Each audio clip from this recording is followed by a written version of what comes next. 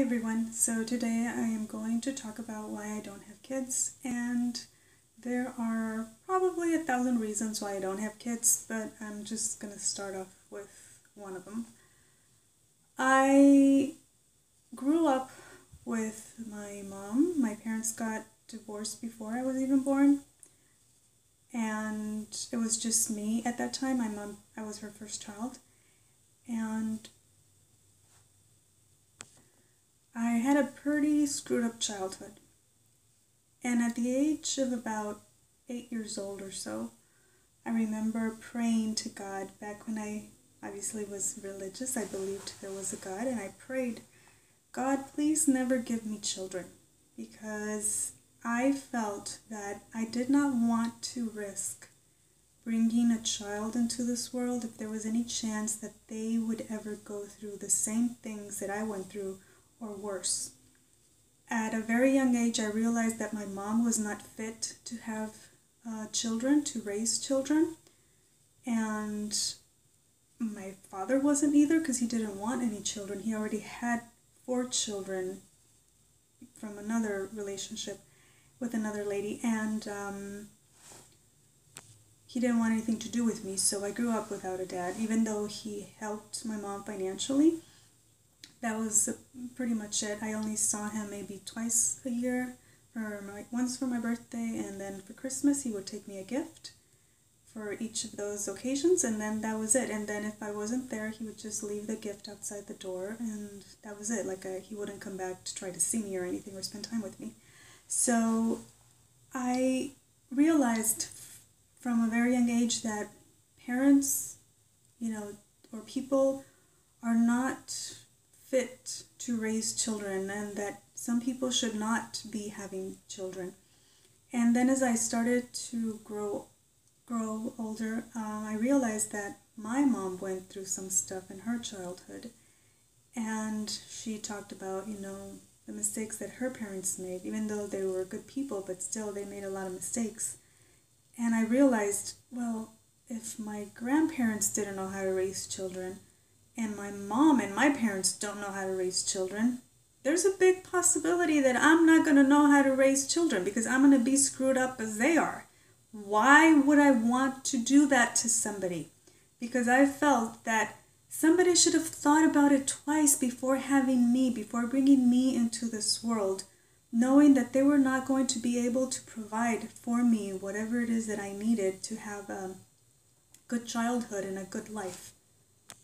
And even though later on in life, maybe in my teen years, early 20s, I kind of went back to thinking, well, maybe I would want to have children.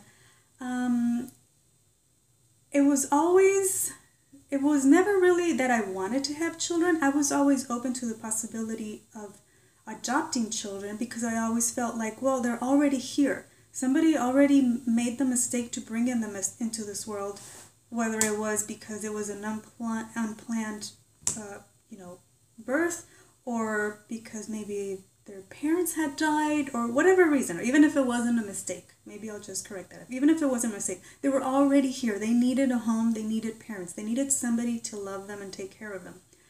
For whatever reasons, their original parents or their biological parents weren't doing that. So I was always open to the possibility of adopting kids. I was never a big fan about you know about having kids. But then as I, you know, as I grew older and I started seeing well, what would be the reasons that I would want to have children of my own if I changed my mind? And I never found a good enough reason to have kids. And I always found hundreds of reasons why not to have kids because I would look around and see the reasons that people were giving for having kids. I always thought they were selfish or they were dumb or they were, I don't know, they were not good enough to bring a child into this world. And I will probably go into talking about that in another video, but in this video I wanted to share one of the reasons why I didn't want to have kids and I don't have children. I am 45 years old and I am very grateful for that decision.